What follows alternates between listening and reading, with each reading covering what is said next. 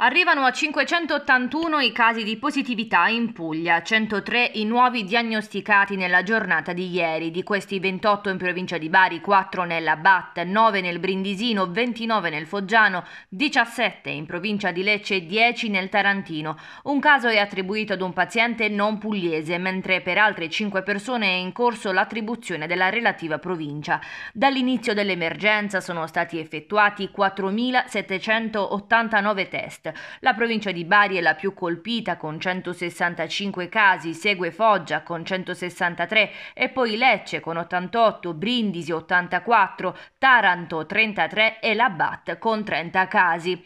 I numeri raccontano che c'è stata già una frenata, rassicura il professor Luigi Lopalco della task force regionale al lavoro contro il coronavirus. Dobbiamo augurarci che il picco non ci sia e che questo duri il più a lungo possibile, spalmando l'epidemia l'epidemia per avere la certezza di far guarire più persone possibili, ma si può anche morire. Il numero delle vittime è altissimo, conferma il professor Lopalco. I contagi probabilmente nei prossimi giorni aumenteranno ancora e per questo bisogna essere chiari con la gente. La mia previsione è che misure restrittive dureranno almeno fino all'estate. Ci potranno essere mitigazioni delle misure, torneremo a lavorare, a uscire, ma si può anche morire. Il numero delle vittime è altissimo, conferma il professor Lopalco, i contagi probabilmente nei prossimi giorni aumenteranno ancora e per questo bisogna essere chiari con la gente. La mia previsione è che le misure restrittive dureranno almeno fino all'estate. Ci potranno essere mitigazioni, torneremo a lavorare, a uscire,